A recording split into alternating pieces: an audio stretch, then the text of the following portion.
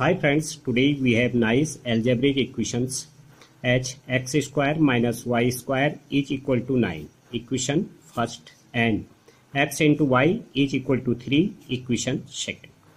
We have to find out value of x plus y, right? So first we will take equation first x square minus y square is equal to 9, right? On squaring both the sides, x square minus y square whole square is equal to 9 square. Right? Now we have x to the power 4 plus y to the power 4 minus 2x square y square is equal to 81. Right?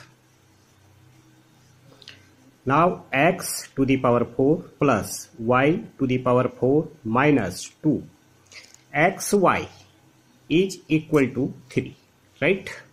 So here 2 into 3 square is equal to 81 right? So x to the power 4 plus y to the power 4 is equal to this and this 99 right? As we know algebraic identity a plus b whole square is equal to a square plus b square plus 2ab right? So x square plus y square whole square will be equal to x to the power 4 plus y to the power 4 plus 2 x square y square right? So x square plus y square whole square is equal to this. X to, to the power 4 plus y to the power 4 is equal to 99 right? Plus 2 into xy is 3 so 3 square right? Now x square plus y square will be equal to square root of this 117 right?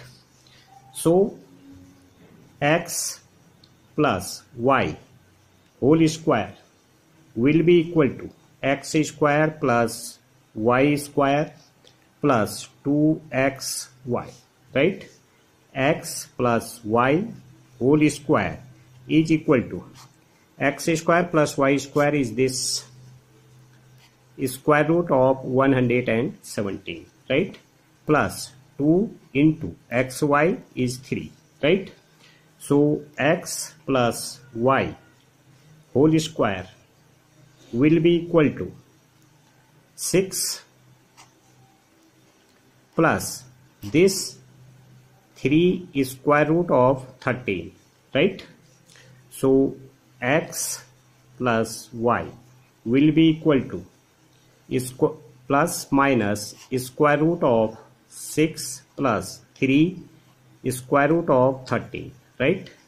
This is our required result. Okay friends thank you